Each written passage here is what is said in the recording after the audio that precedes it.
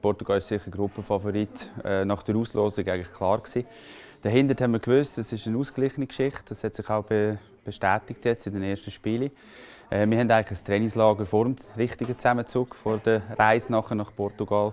Wir wollen die drei Tage hier in Regensdorf optimal nutzen, um auch ein bisschen noch ein bisschen kadersichtig zu machen und nachher auch festzulegen, mit welchen Spielern, mit welchen 20 Spielern wir dann auch nach Portugal reisen.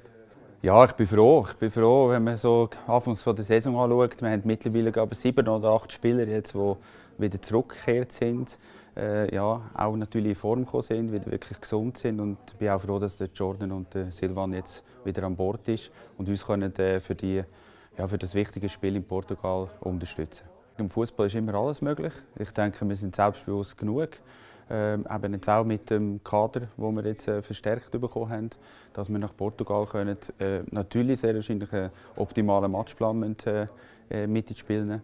Äh, gute, sehr gute Leistung bieten und dann bin ich überzeugt, dass wir auch in Portugal eine Chance haben, äh, zu punkten.